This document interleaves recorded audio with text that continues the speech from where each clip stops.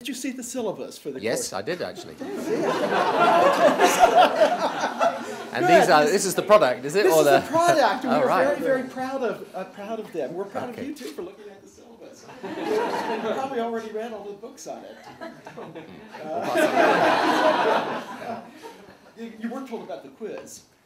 No, oh my goodness. I'm one of these people who can't do quizzes. Actually. we, we have a thing in Britain called pub quizzes. You know, in the pubs we go, and honestly, if I'm ever in any of those, my mind goes blank. They say, like when I was even when I was in office, who's the prime minister? And your mind just goes. Should liberal democracies seek to promote the creation or adoption of their form of government abroad, uh, what tools do they possess that they could employ in this process, and which of these tools do you feel is most effective? Yes, is, is, is my view. Uh, and the more time I, sp- I spend a lot of time out in the Middle East uh, with the Israel Palestine issue, but also more broadly in, in the area.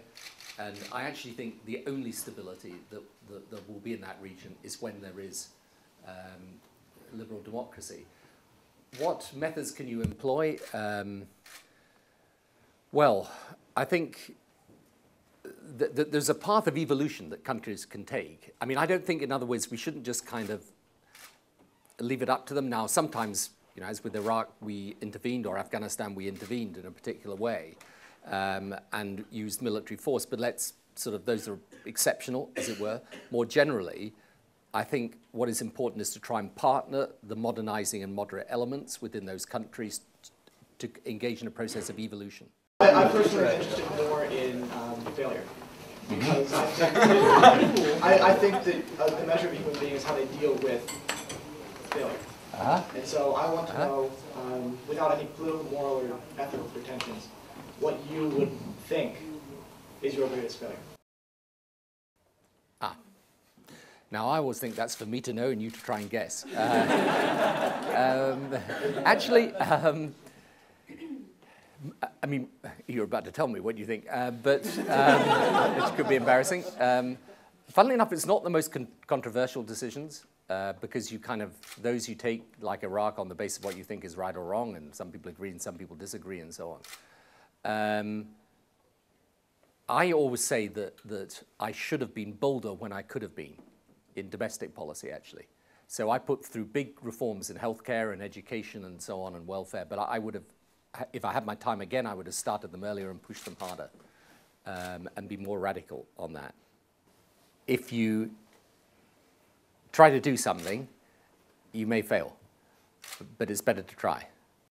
As a prominent and influential international leader, what is your view on um, what is your view on climate change and the green revolution? Uh, I'm in favour of the green revolution, um, and I'm against climate change. Um, um, my view is that that that uh, this this will happen.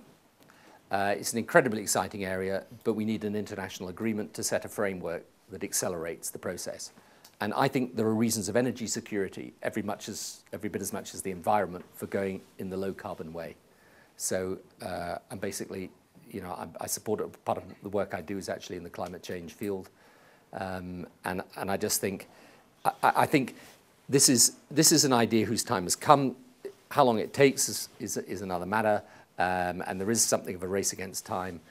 But we need the international agreement, and particularly we need China and America on the same side. So, what do you think of the opportunity to meet such a prominent international leader, and um, what were some of like the feelings that you've taken away from this experience?